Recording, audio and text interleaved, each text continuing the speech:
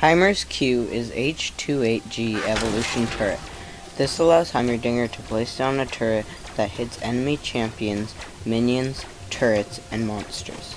His turret also has a secondary pass-through beam attack that fires after a certain amount of time.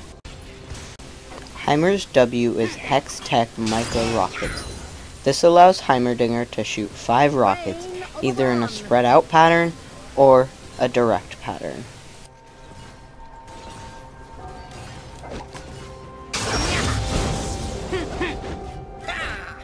Heimer's E is CH-2 Electron Storm Grenade.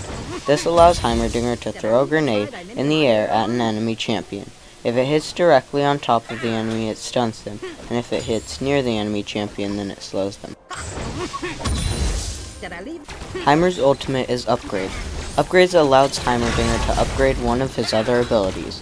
If he uses Upgrade on his Q, it will make a super big turret that does lots more damage than his small ones. If he uses Upgrade on his W, it will make his rockets do much more damage, and it will send out 5 waves of 5 rockets instead of just 1 wave of 5 rockets.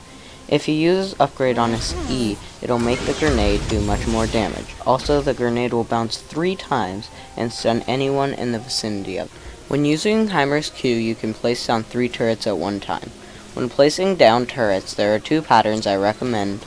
You can place the turrets in a triangle-like shape, or you can put them in a line.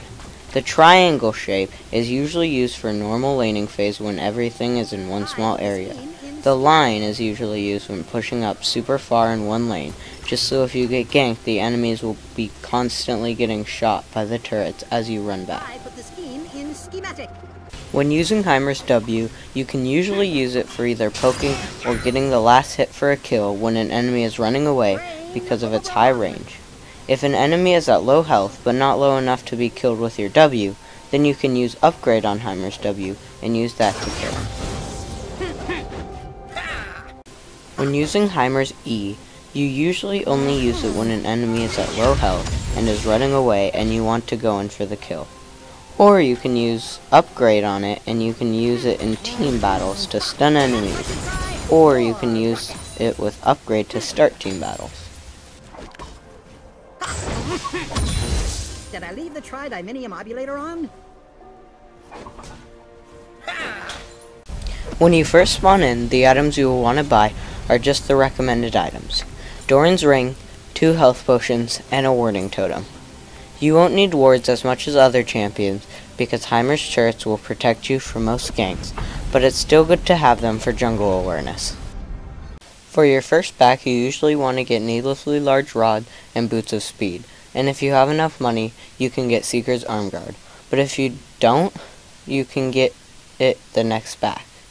You want those items because they build into Zhonya's Hourglass, and that is Heimer's first crucial item.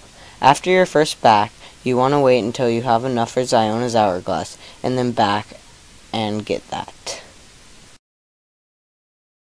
After you have Zhonya's Hourglass, you want to buy Sorcerer's Shoes and then Haunting Guise to build into Liandry's Torment.